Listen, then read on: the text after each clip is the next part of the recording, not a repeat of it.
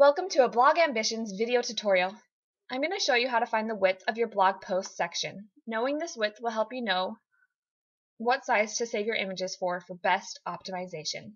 I'm using the browser Google Chrome, but you can use any browsers to achieve the same results. First, we're going to open up our Google Chrome Developer Tools. Head to the top right corner and click on the More icon. Hover down until you see More Tools which will open up a new window, new menu window. From this menu, go down and select Developer Tools. This is going to open the Developer Tools console window.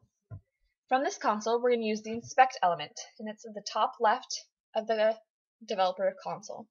Go ahead and click the Search button so that we can inspect our post section. Now again, we're going to try and find out what is the width of this post section. So select the search icon and go ahead and hover over the section you want to measure.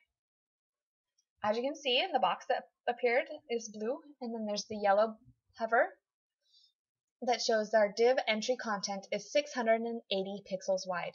If you click on it, it will also bring up the styles in this right box here, and you can scroll down to the very bottom and see the layout, and again see that it is 680 pixels wide.